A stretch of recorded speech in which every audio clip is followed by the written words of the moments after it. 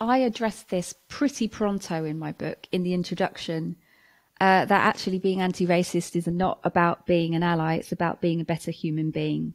It's about treating, specifically in my lens, treating black people uh, with basic dignity, care, and respect, which are all the things that didn't happen to us historically, and to this very day for many of us still.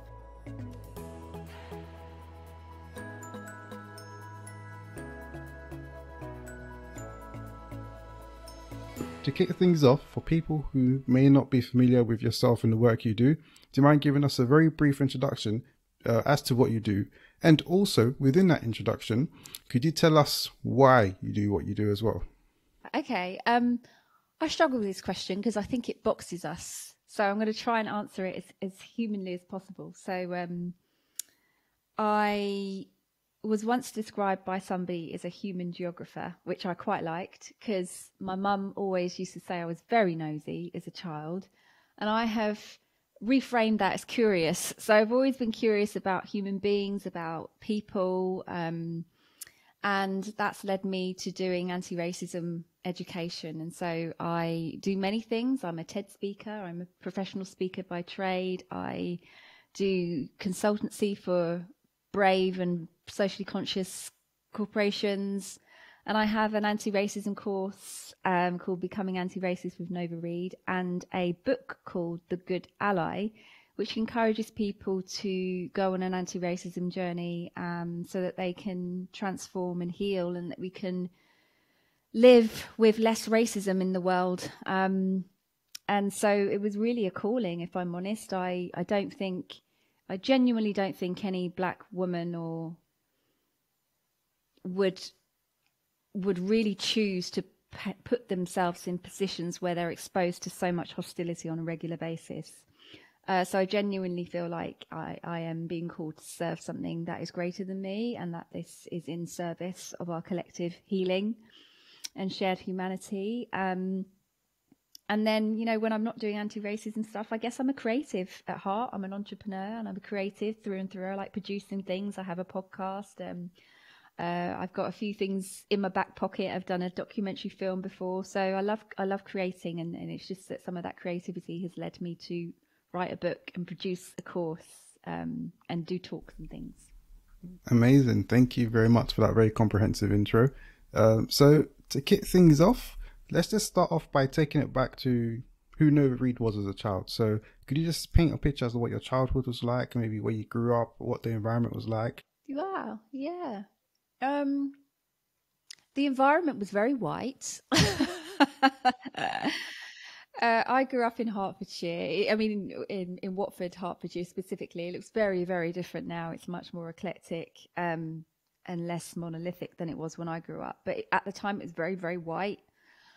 Um, I am from a I have lineage loss of slavery. I my my background is Caribbean. I am from Caribbean heritage, and it that means something. Um, and so the assignment for my family was to fit in and to assimilate. Um, and so my character as a young girl was very quiet. I, I didn't speak unless I was spoken to. I was very anxious. Um, I've always been curious and nosy, quietly curious. Um, and I was actually really, really shy. I don't know when things changed and I ended up doing things like public speaking and acting.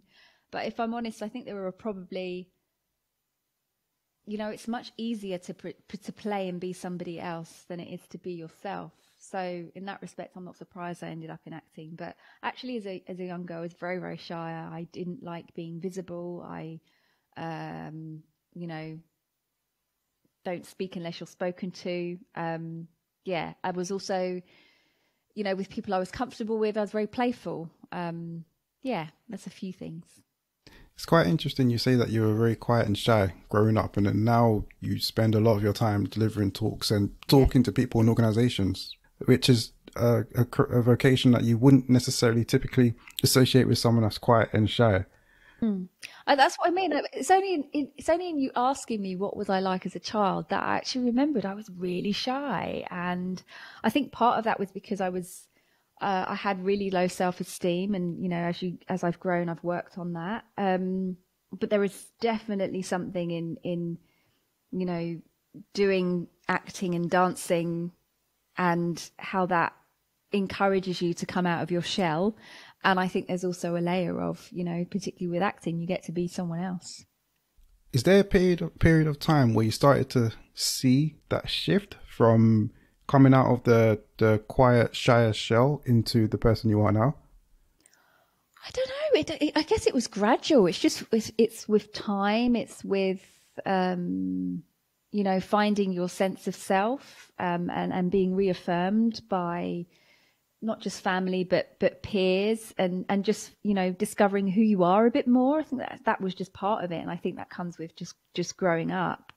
And I I ended up really enjoying drama. My drama teacher was amazing. I had other teachers that were shockingly shit which I think contributes to whether or not you like a subject or not at school. But my drama teacher was a really lovely human being, and I really enjoyed it. And and I, you know, that that will definitely have played a factor into how much of me I dedicated to it because I felt like I belonged in drama class and I enjoyed the playfulness of, you know, being the complete opposite of who you are day to day. Like I really enjoyed that.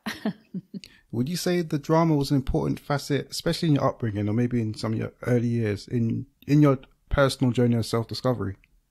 I think drama and dance because um, dance more so. I did both. It it I was able to express myself without words, which I really appreciated. There, you know, I uh, you know it's it's very embodied. It's you know you're allowing your body to do the expression and the, the the communicating for you so that was a that was a great avenue for me and then the drama i think it just you know and i would recommend that any young person does drama because it really does help bring you out of your shell and help you learn how to communicate in a in a safe and contained way and to play and explore. Um, and you know, there's things like drama therapy that are proven to really help with mental health as well. So, yeah, I, I really value drama, and I and I, I I think schools under underestimate how important that is for young people as a vocation.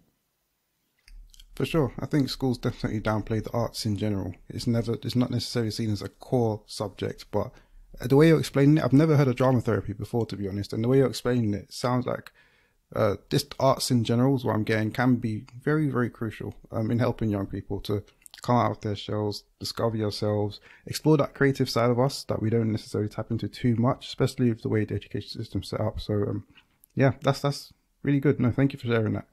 When you were growing up, what was the plan? What was the career goal? Oh my gosh! So when I was very young, it was to be a hairdresser. And the only reason it was to be a hairdresser, I'd say the only reason, a reason that I think made that choice as a young girl so prevalent for me was because they were the only roles I saw people who looked like me, black women. And so I thought, well, I could do that. Um, but as I as I as I grew older, um, I always wanted, and, and this is because of the drama I had early days. I always wanted to be an actress. I always wanted to be an actress and professional singer and I did for a short while. It was my career for, I'm trying to think now, when did I graduate? Um, my career for about seven or eight years.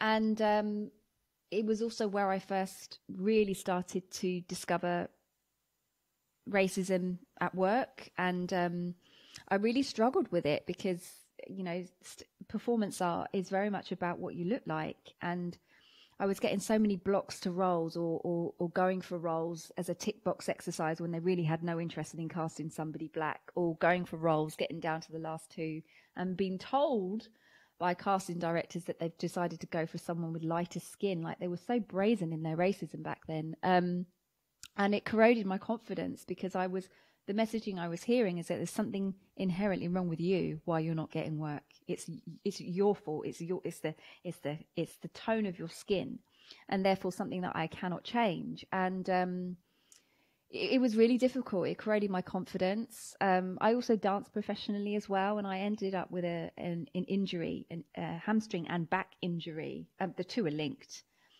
And um, it got to the point where I really started to think about if this was a viable career option, just because work was so sporadic and, and limited as a black creative.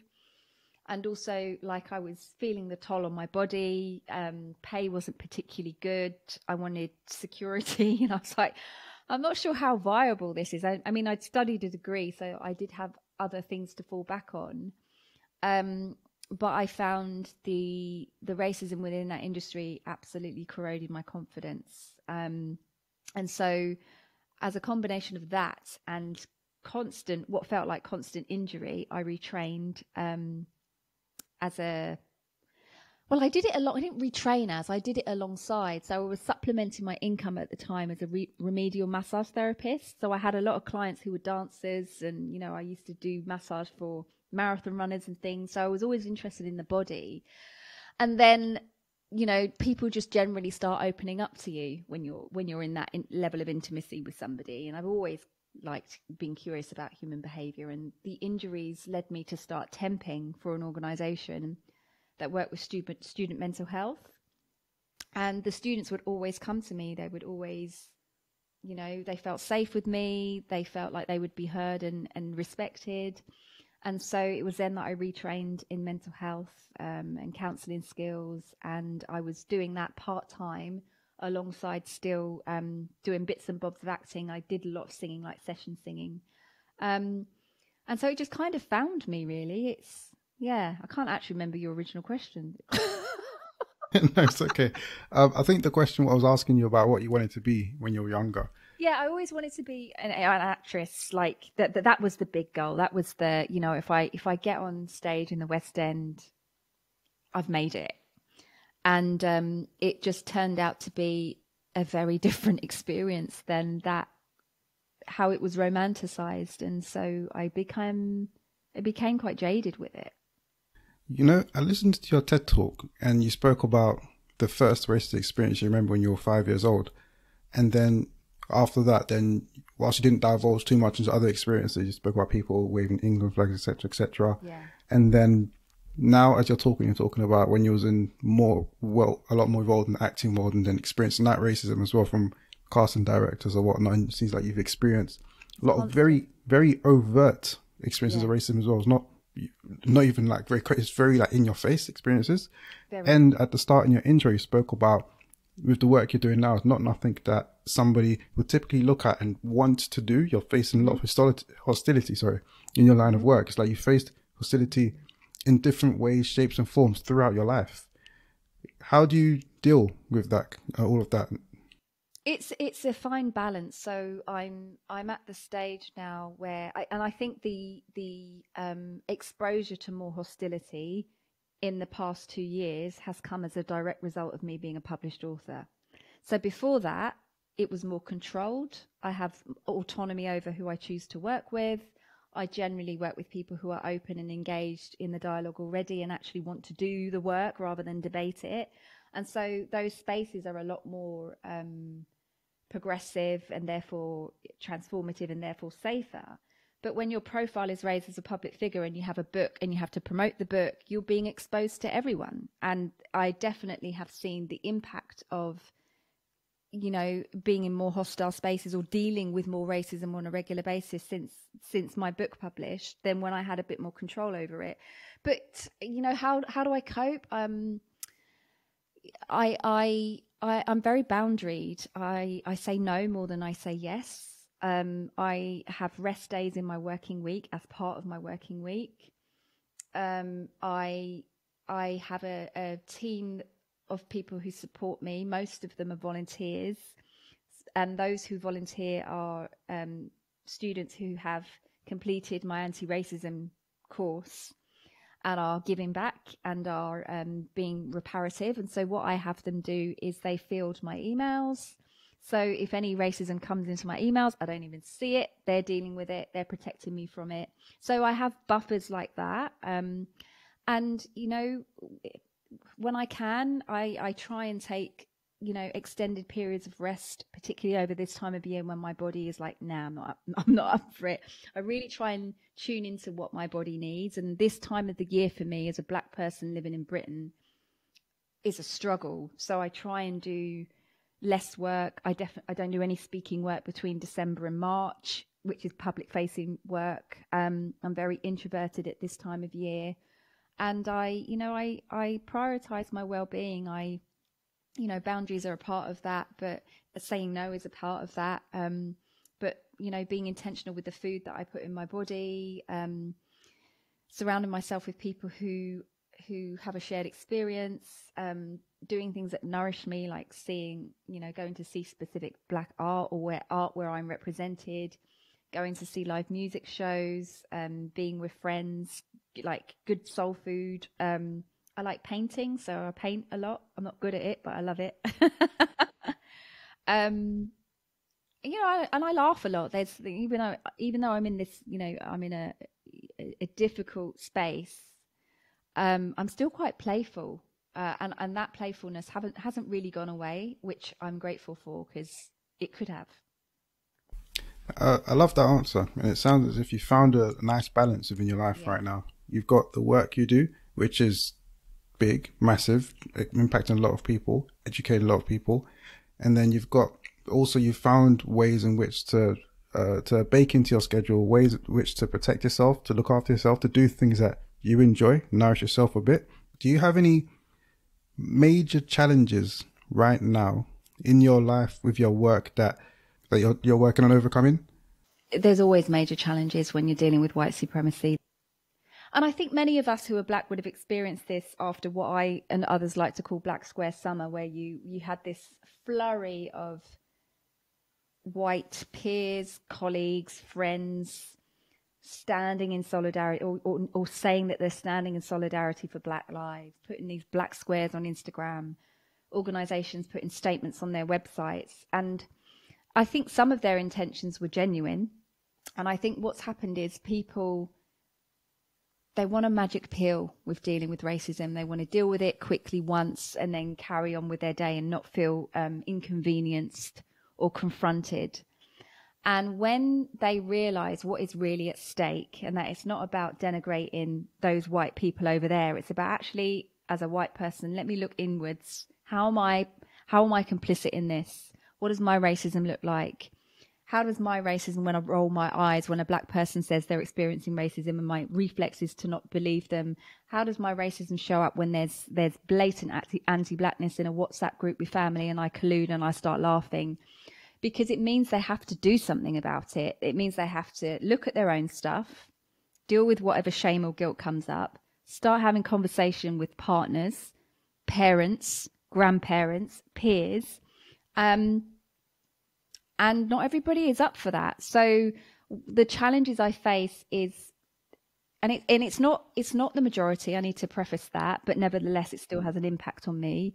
But they'll come into my space. They will, you know, read my book, um, parade around the internet. Oh, I've read Nova's book, and position themselves in a certain way, do the course, and then nothing else. It's a tick box. It's not sustained. It's not continuous. And so my challenge is with white liberals who maintain that they are anti-racist, who who cannot and will not be held accountable when their racism shows up, and then start blowing their shame and their rage and their frustration and their embarrassment at you highlighting their racism through you.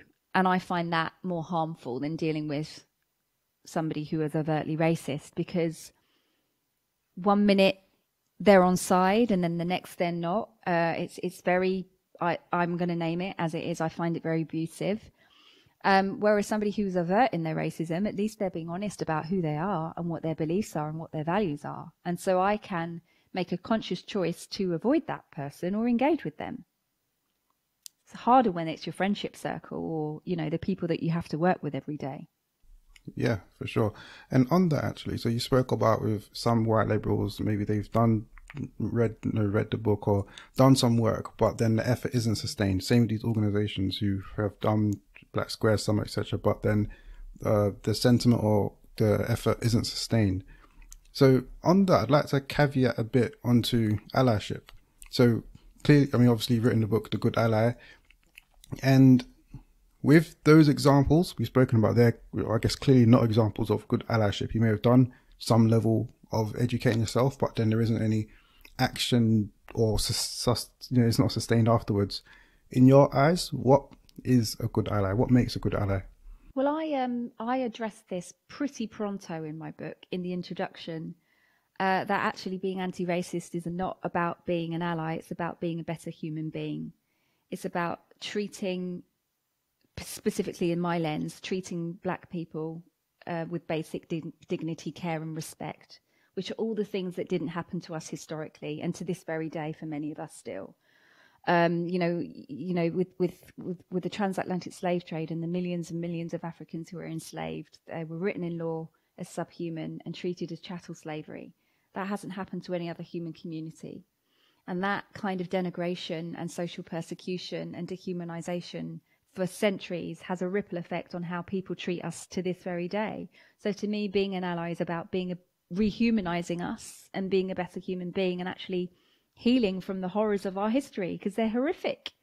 Not denying that they happened or that they were a long time ago, but accepting that they happened and recognizing how that, you know, shape shifts and exists today and taking personal responsibility so that there's some kind of collective effort to change. So that that's that's how I frame allyship. I, I, think the term since Black Square Summer has been totally bastardized. So I started writing The Good Ally in 2018, and um, interestingly enough, we we had some interest with three three of the top five publishers, and I had some meetings in 2019, and one of them was really keen to to take it and. Um, you know when a when a publisher is interested in your book there's a little there's a i mean it takes forever to be honest. It's a long process. Um, but when they're really interested it goes to something called an editorial meeting and then it goes to acquisitions. And acquisitions is where like the sales team the marketing everybody in senior positions are involved in deciding if this book is sellable and what they might offer you as an advance and so it was it was in those phases and um, the editor that i was working with was certain that we'd get a deal and um, the team hated it. They said it was patronizing and they said the bit that makes me laugh was that there isn't a market for this book in the uk this would have been so my first meeting would have been march 2019 and we had meetings all over summer so summer 2019 and then fast forward to summer a year later all these publishers are scrambling around. Loads of them are in my inbox. um, but yeah, I, I, actually secured a deal of the Good Ally in April 2020. So that was before the murder of George Floyd and, and, and didn't accept until uh, several months later. But it was interesting seeing the appetite for this work change. But what happened is there was just a bastardization of allyship. It was more about being seen to be looking a certain way and being seen to be a good white person and not one of those dodgy white people over there putting knees on black men's necks. And it was it was more about perception than actually this has been an issue for centuries and decades, and I'm well aware of the anti blackness that's rampant in society, and I've done nothing about it. And rather than approach it with that level of integrity and honesty, it was more about this badge of honor. Well, how can I position myself with the closest black person to me so that I can feel a little bit less guilty? So, what do you say when you're talking to people like that? Also, on top of that, so with the kind of work and the audiences you speak to, um, just imagining in my head that you've got a couple groups of people. So you've got the group of people who are willing, who maybe may have read a bit, may have watched a bit, but they they they're willing to listen and to learn. Then you'll have a second group of people who don't care, don't think it's an issue, don't want to learn. You know, they're, they're, they're, they're not really interested, really. How do you approach people like that? The ones who, you know, they're, they're not really wanting to take it on board, not really, not really. They're just there maybe because they've been forced to be there. How do you explain to them why this is so important?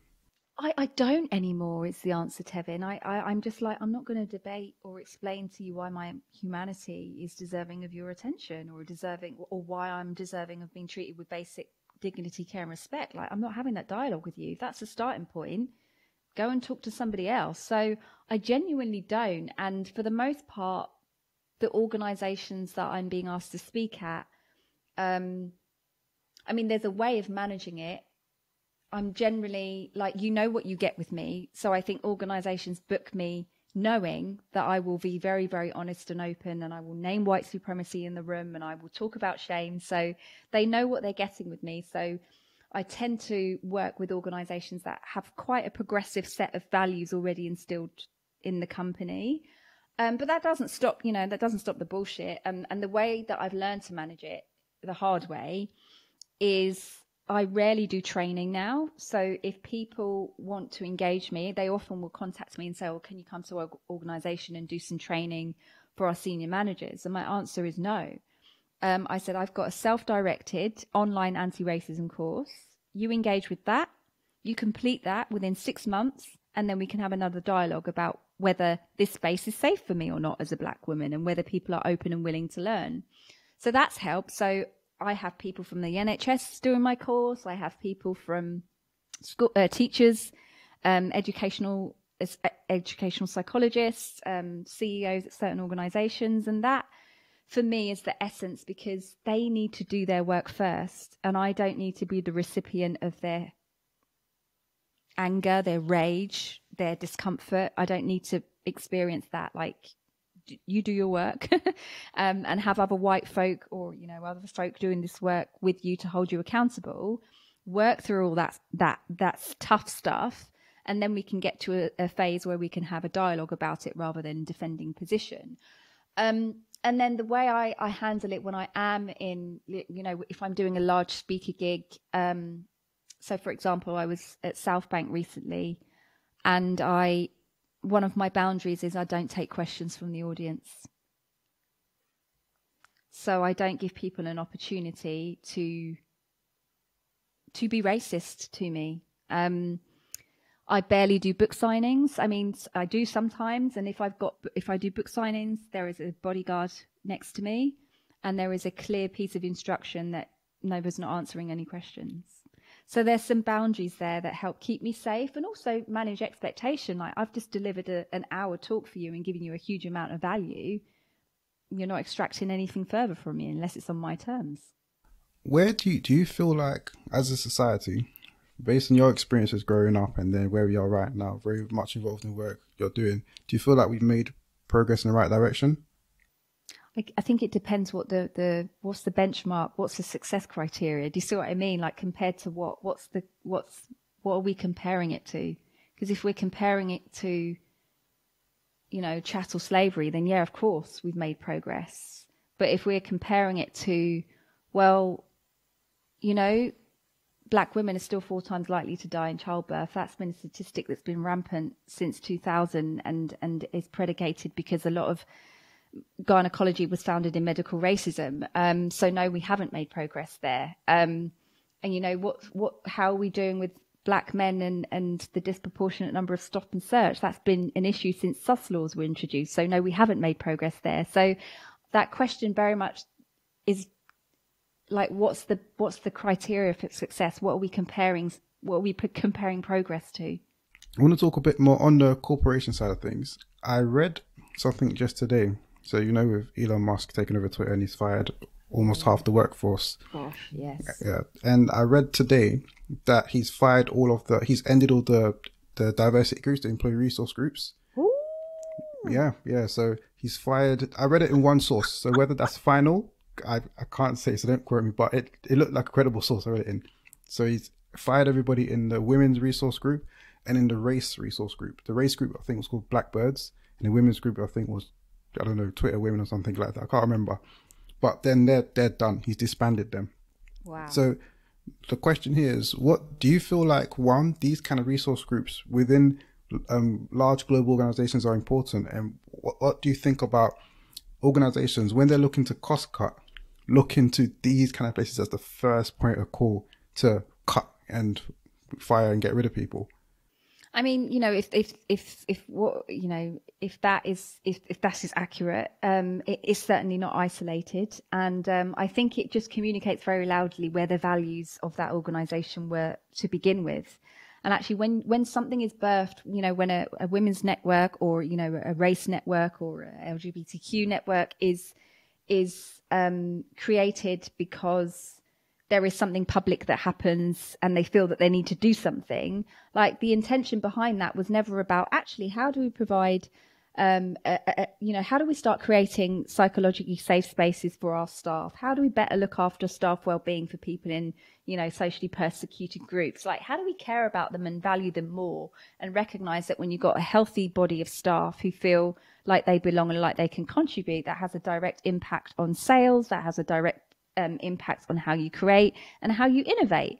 But no, it's more about the token box. It's it's the performative aspect. It's the performative allyship aspect.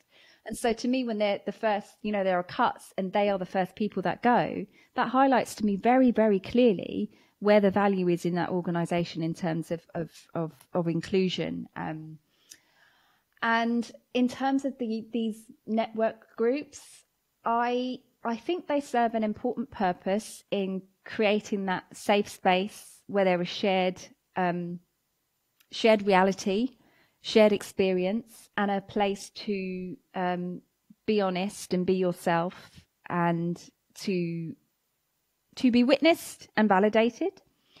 Where I think they can fall short is if they don't feed into sen- senior leadership, because if it's just a little network on the side, or when senior leadership say to staff members that they can't take time off, I say time off, it's not time off, it should be seen as part of what's required to stay well at work.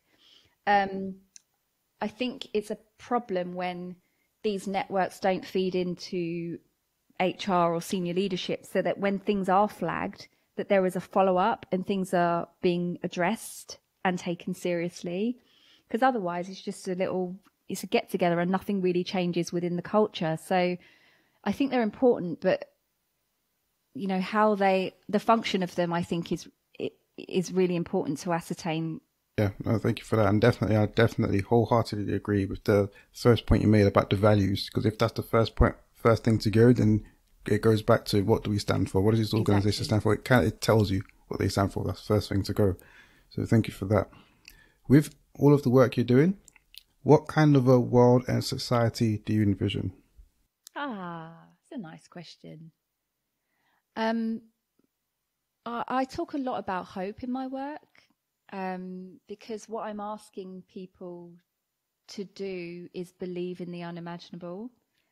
Because you know, you just spoken about my journey as a as a as a human being, and, and, and that has been touched by racism throughout. The youngest experience I had of racism was was was seven. That's my my youngest memory. That's what I remember. I'm sure there were experiences before that, and whatever I experienced in my mum's womb because um, there's you know there's so much research that shows you know trauma is passed down from womb to womb.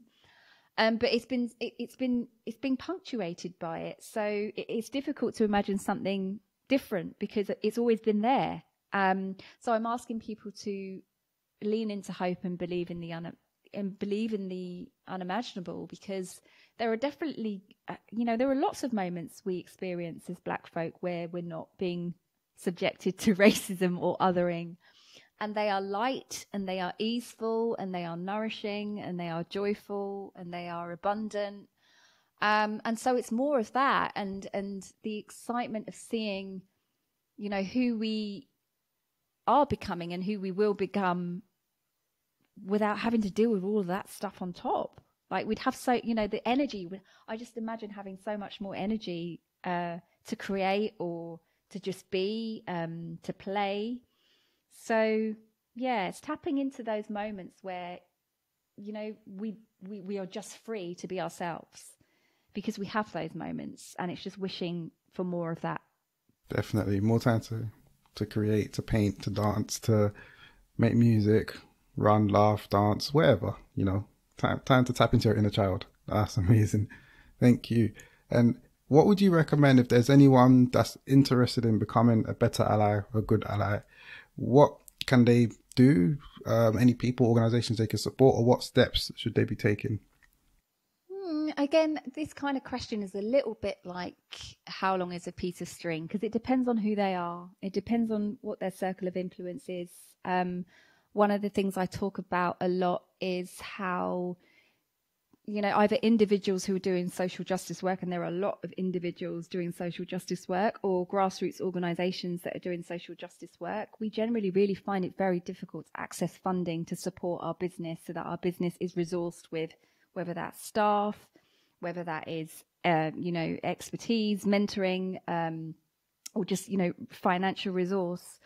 Very difficult. We're having to apply to the same institutions that discriminate to get money. It's outrageous. There was a, there's a statistic I often talk about that um, you know we have a lot of black black people who are running their own businesses and contributing a significant amount to the British economy and doing you know running great businesses and um, I think the the the statistic I'm talking about was between 2009 and 2019 of venture capitalist funding and so where all the funding went out all these business owners, only 0.024% of funding, can't remember what the pot of money was, you can find the stat online, went to black female business owners over a 10 year period. So that shows you the deficit. We're out here, the majority of activism historically and to this day is being done by black women. And yet we have lack of access to resource and there's this disproportionately impacted. So if you're somebody who works for an organization or you're somebody who has wealth privilege and you want to be an ally, one of those things you can do is in, in reparative is right, okay, how much financial resource can I give? Or do I have a skill set where I can mentor somebody? Or do I know somebody who is an angel investor? Or can I put a good word in here? That's a very specific way that somebody might be able to help. Um, lots of people who are doing this work are often really fatigued or burned out. Um, there was an initiative, I can't remember the name, it's in my book, but it was in Cornwall. And they reached out to help survivors of Grenfell. And they wanted to give respite to surviving family members and people who'd been impacted by that, and also for the firefighters. And they donated accommodation, food, a holiday free of charge. So that's something. Um, but then, like, person, you know, the biggest amount of things you can do to be anti-racist is to go on your own personal journey. Because once you start that, you'll then know where you can add value and where you can add influence. And that might be a teacher that's doing my course who is um, in a position of power at a school and is a history teacher. And instead of just having this 31 days of black history in October, she's embedded key people who are black, who have invented, who are scientists, who are creatives, who are, um, you know, uh, like I think it's Ivory Banglehead lady, like talking about Romans who were also black and letting people know that we didn't just appear off of the Windrush ship or or as a consequence of enslavement. And that black people have been, you know, every every human being comes from a black woman, and so they're teaching a more holistic history. Um, and they are intentionally seeking out positive stories of, of black people and not contributing to trauma porn. So that's something that she could do because of who she is. So it varies. And what I would say is have the courage to go on your personal journey. You know, my the good ally is is, is a resource. Um, my anti-racism course is a resource, and there are lots of other resources as well. There are plenty of resources for people to get started on this journey on, but you just have to decide and commit. That's amazing. Thank you for that. Thank you for that. So let's uh, quickly talk about you. Let's talk about Nova right now. What are you grateful for and why? Uh, I am I am grateful for experiencing um, what I, I describe as the healing power of unconditional love. Because I am not a perfect human being, and I've I've not always felt deserving of many things, including love, and I and I receive that. I, I receive that not just from my husband, but from strangers on the internet who see the value of the work that I'm doing and will pour into me with words of affirmations or they will send a care package with candles in. Or um, you know when i was writing my book someone offered me to stay at their home which was by the seaside so i could be resourced and, and they didn't charge for that. Or you know more recently someone asked me what i need and i said i'm i'm really exhausted. I haven't experienced exhaustion like this and i i really just need to rest. Um, and they said, I'm going to fundraise money so you can have a sabbatical. And that was, they were just asking me what I needed and I named it. And they wanted to do that for me because they saw that I have value and that I'm deserving and that, you know, when I'm rested, how I show up in the world is different. And they wanted to give back. And um, I only think people are able to do that kind of community care when they really, you know, they're doing it because it's unconditional. They don't want anything from you in exchange. And that's rare for me as a black woman. It's always, you know, it's always been transactional. And so I think that's a gift. Um, being here, being present, being healthy, um, being alive. I have a lot of gratitude for that. I've lost people that I love who are, who are my age. Um, and I'm grateful for, you know, I'm, I'm grateful for my shared humanity in the black community. Um, you know, I, I, I, I, I love us. I love our joy. Um, I love our, our, humanity and how we can just look at one another and just know. Um, and that is something that I'm very, very grateful for. That's lovely. Thank you for that. And final question as we just prepare to wrap up what's next for you? What's the next chapter in your story? Rest. I'm having some rest. And, you know, when, when I rest, lots of ideas come. I've, I've got a tentative audio project that um, centers black stories that I'm, I'm hoping will get over the green line. Um, that I'm really excited to do, and I I I, I want to do more storytelling. You know, I'm a I'm curious. Um, I'm interested in people. Uh, my my background is on stage, and so I want to do more um, documentary storytelling and you know get creative in in that way. Um, and so I'm looking forward to opportunities as they arise. But firstly, I'm a rest. Great. That's perfect. Rest, rest, rest. Can't get enough of it. So that's that. Thank you so much for coming to the podcast. I really, really enjoyed um, speaking with you now, and I learned a lot actually. So thank you so much. It was amazing, amazing oh, discussion. I've enjoyed it too. Thank you. Oh, thank you. Uh, as we prepare to, well, as we're closing up right now, have you got any last words you want to share? And also, if people want to keep up to date with yourself and the work you do, how can they best do so? Uh, just a loving affirmation to remind any black women listening that black women are divine. Um, and if people want to connect with me and find out more, I'm mostly on Instagram um, at Nova Reid, R E I D official. I'm also on Twitter at the moment. I'm not sure how much longer I'm going to be there with all this Elon Musk foolishness, but for now it's at Nova Reid, R E I D a fish O F F I C, because it wouldn't let me have more characters. Um, and my website for people who are interested, I've got lots of things on there. I've got um, some brilliant interviews I've done with people like David Harewood and Alex Elle, who writes a lot about healing, and um, a queer black Buddhist called Lama Rod Owens, where we talk about anger and healthily releasing anger, all on my website. So um, if you visit Nova Reid, N O V A R E I D dot com, um, and have a play around there, click the explore button um, there's lots of me there and some things that will resource and nourish you. And of course, if you would like to engage in anti racism work, then The Good Ally is out now, and uh, my online anti racism course, Becoming Anti Racist with Nova Reid, is also on my website.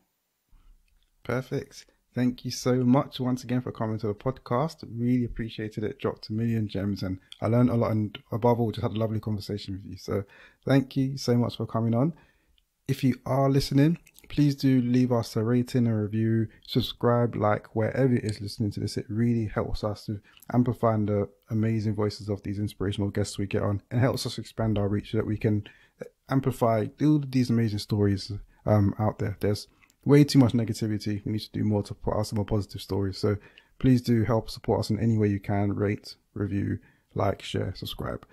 But that's that for now. Thank you so much for coming to the podcast, Nova. This is 1000 Voices. We had the amazing Nova Reid. And for now, everybody, we're out.